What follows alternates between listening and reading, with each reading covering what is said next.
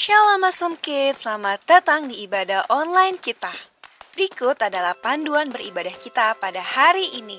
Yang pertama, adik-adik, mari kita persiapkan diri kita dan pakailah pakaian rapi dan juga sopan.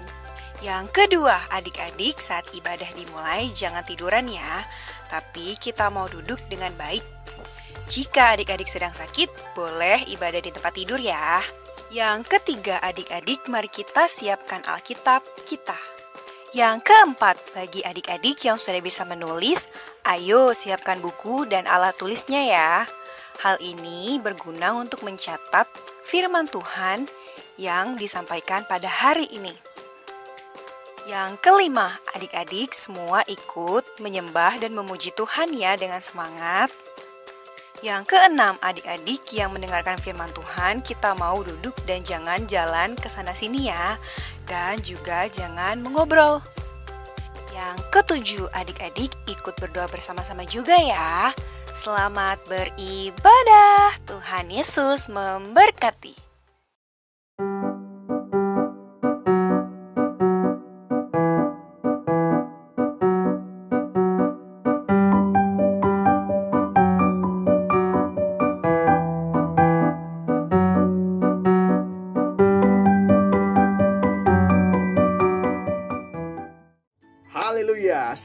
Adik-adik. Awesome kids. Hello awesome kids. Yes I am. Yes I am. Yes. Puji Tuhan. Kak Philip mau tanya kabar. Apa kabar semuanya? Halo, apa kabar semuanya? Hmm. Kayaknya masih masih masih ada yang ngantuk nih. Apa kabar semuanya? Ayo semuanya berdiri, berdiri, berdiri dulu. Ayo, ayo berdiri. Apa kabar semuanya? Dahsyat, luar biasa, Yes, yes, yes. Wow. Tapi percaya kalau hari ini kabar kita dahsyat, luar biasa, yes, yes, yes, itu semua karena Tuhan Yesus mengasihi Kak Philip, Tuhan Yesus mengasihi adik-adik semua, mengasihi kita semua, papa mama, kakak adik, semua keluarga kita. Tuhan Yesus mengasihi kita.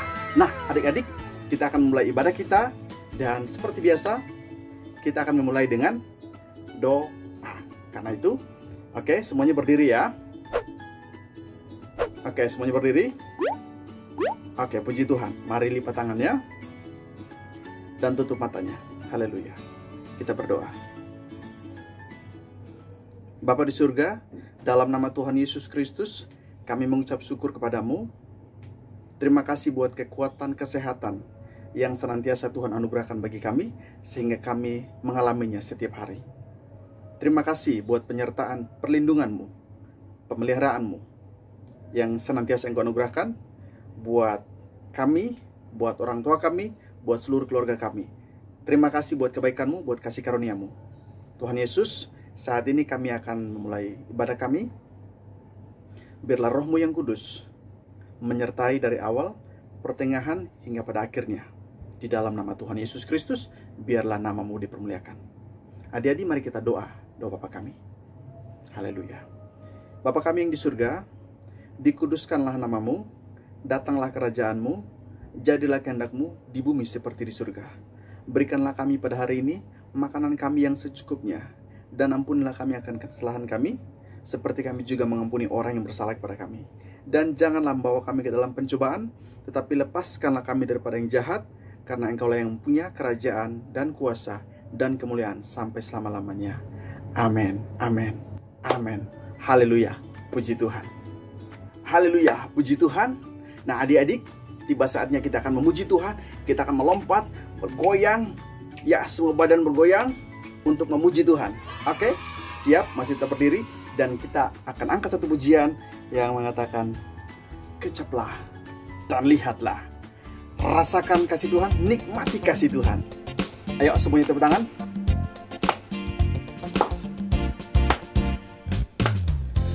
Kecaplah dan lihatlah Betapa baiknya Tuhan itu. Rasakan dan nikmati Kasih setia Tuhan. Kecaplah dan lihatlah Betapa baiknya Tuhan itu. Rasakan dan nikmati kasih setia Tuhan. Syukur bagimu Tuhan. Segala hormat bagimu Tuhan. Allah yang mengasihiku.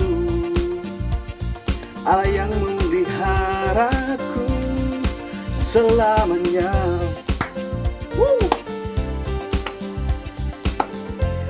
memelihara kita karena dia mengasihi kita. Tuhan Yesus mengasihi kita karena cintanya begitu luar biasa. Woo! Kita sekali lagi angkat pujian ini ya. Sama-sama dengan semangat. Woo!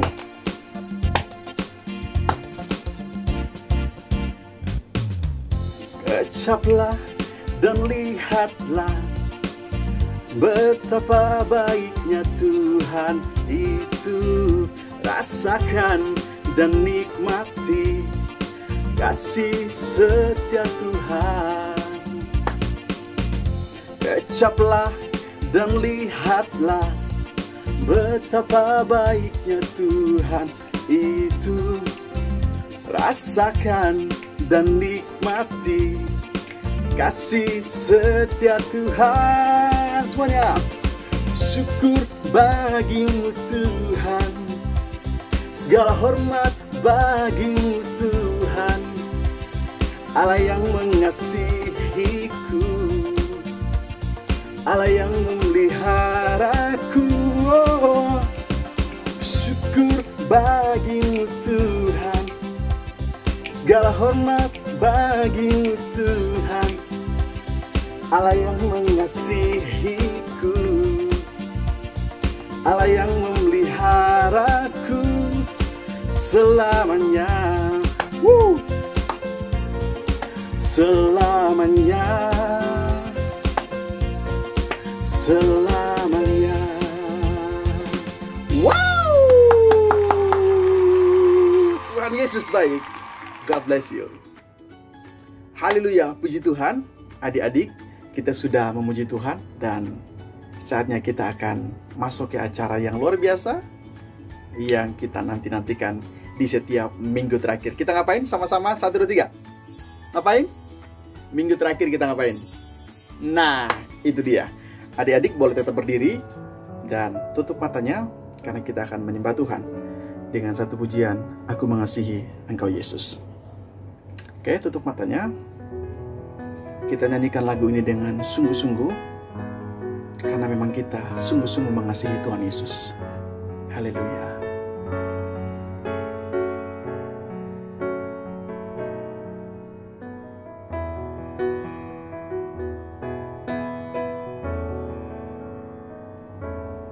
Aku mengasihi Engkau Yesus dengan segenap hatiku. Aku mengasihi Engkau Yesus. Dengan segenap jiwaku Ku renungkan firman-Mu siang dan malam. Ku pegang perintahmu dan ku lakukan Engkau tahu ya Tuhan Tujuan hidupku hanyalah untuk menyenangkan hatimu.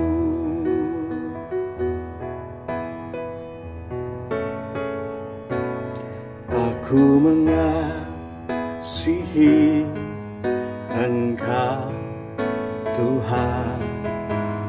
dengan segenap hatiku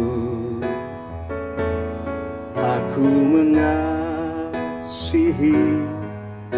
Engkau Yesus.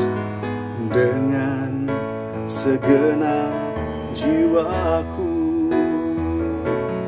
Ku renungkan firmanmu Siang dan malam pegang perintahmu dan ku lakukan Engkau tahu ya Tuhan tujuan hidupku hanyalah untuk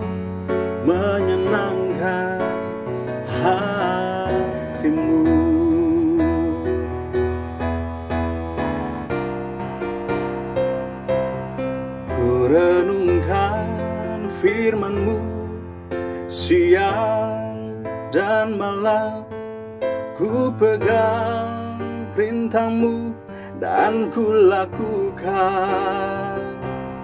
Engkau tahu ya Tuhan tujuan hidupku hanyalah untuk menyenangkan hatimu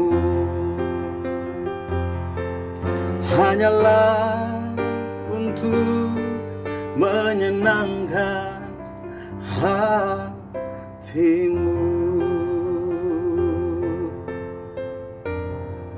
Haleluya.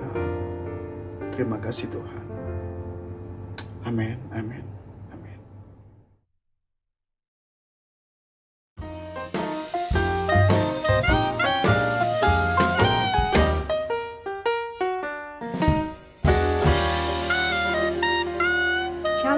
princess and princesses yang dikasih oleh Tuhan Yesus. Kita sudah ada di minggu kelima loh, bulan Agustus tahun 2021 dan seperti biasa, kalau di minggu terakhir kita mau ada kuis ya.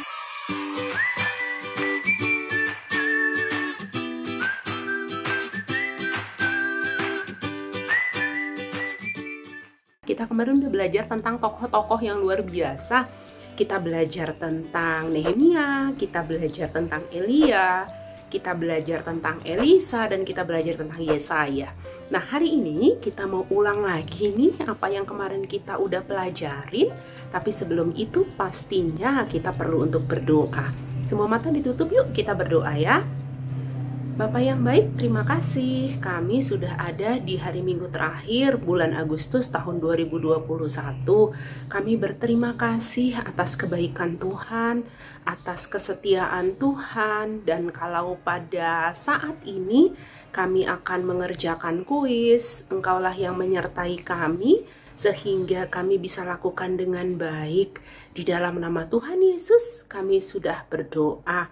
Haleluya. Amin. Nah, adik-adik disiapin catatannya. Kalau bisa sih, nggak buka Alkitab karena kan sudah ingat, sudah catat kemarin. Oke? Disiapin ya. Kita mulai dari soal yang pertama. Apa profesi Nehemia? Apa profesi Nehemia?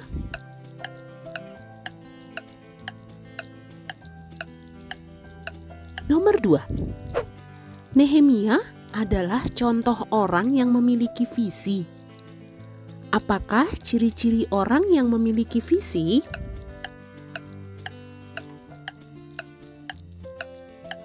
Nehemia adalah contoh orang yang memiliki visi. Apakah ciri-ciri orang yang memiliki visi?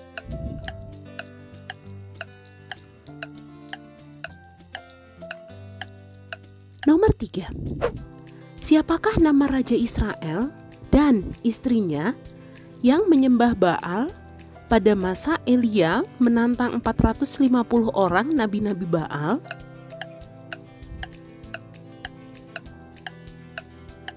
Siapakah nama Raja Israel dan istrinya yang menyembah Baal pada masa Elia menantang 450 orang nabi-nabi Baal?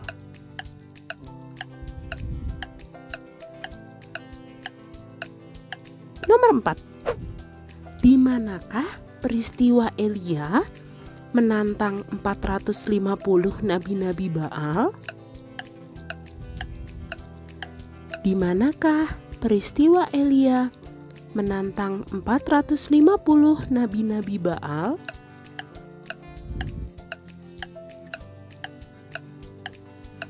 Nomor 5 Apakah yang dinubuatkan oleh Nabi Elisa kepada perempuan di Sunem?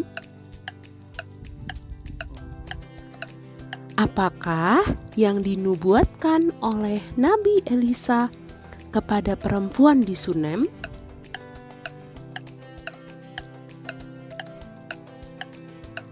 Nomor 6. Apakah yang dapat kita pelajari dari sosok Elisa yang dikenal sebagai orang yang bermartabat? Apakah yang dapat kita pelajari dari sosok Elisa yang dikenal sebagai orang yang bermartabat?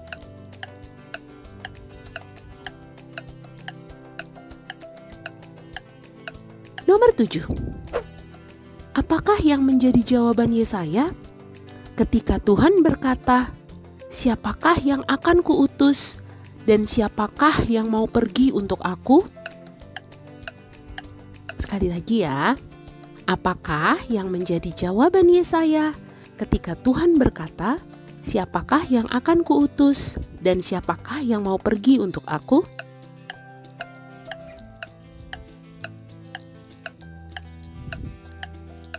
Nah, sekarang kita ada di soal nomor 8, soal terakhir. Dengar baik-baik ya. Bagaimana kita dapat melihat dan merasakan hadirat Tuhan?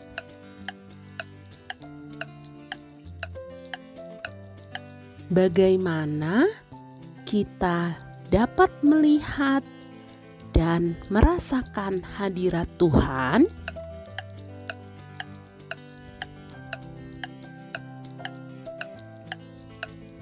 Jawabannya, nomor satu. Apa profesi Nehemia? Juru minuman raja. Nomor dua, Nehemia adalah contoh orang yang memiliki visi. Apakah ciri-ciri orang yang memiliki visi? Satu, tidak mementingkan diri sendiri. Dua, mencari kehendak Allah. Tiga, tidak takut dan gentar. Nomor tiga, siapakah nama Raja Israel dan istrinya yang menyembah Baal pada masa Elia menantang 450 orang nabi-nabi Baal? Ahab dan Isabel. Nomor 4. Di manakah peristiwa Elia menantang 450 nabi-nabi Baal? Jawabannya di Gunung Karmel. Nomor 5. Apakah yang dinubuatkan oleh Nabi Elisa kepada perempuan di Sunem? Bahwa tahun depan perempuan Sunem itu akan menggendong seorang anak laki-laki. Apakah yang dapat kita pelajari dari sosok Elisa yang dikenal sebagai orang yang bermartabat? Bahwa kita jangan hanya mau menerima, tetapi juga memberi. Nomor tujuh, apakah yang menjadi jawaban Yesaya ketika Tuhan berkata, Siapakah yang akan kuutus dan siapakah yang mau pergi untuk aku? Ini aku, utuslah aku. Nomor delapan, bagaimana kita dapat melihat dan merasakan hadirat Tuhan? Satu, dengan berdoa. Dua, beribadah. Tiga, memuji Tuhan. Dan yang keempat, saat ada persoalan. Nah, gimana tadi kuisnya ada 8 soal, bisa semua ya, harus bisa semua loh. Kalau yang belum bisa, ada yang masih salah, berarti adik-adik masih harus lebih tekun lagi untuk catat ya supaya nanti di bulan-bulan depan selain memang kita perlu untuk terus hidup dekat dengan firman Tuhan, kalau ada kuis di akhir bulan juga adik-adik bisa kerjain dan berhasil. Oke, kita berdoa ya adik-adik karena kuis kita sudah selesai. Kita mau sama-sama tutup mata kita, kita berdoa. Bapak yang baik, terima kasih. Kami sudah selesai kuis kami dan ketika kami sudah ada di hari Minggu terakhir di bulan Agustus, kami tahu bahwa masa depan kami sungguh indah bersama dengan Tuhan.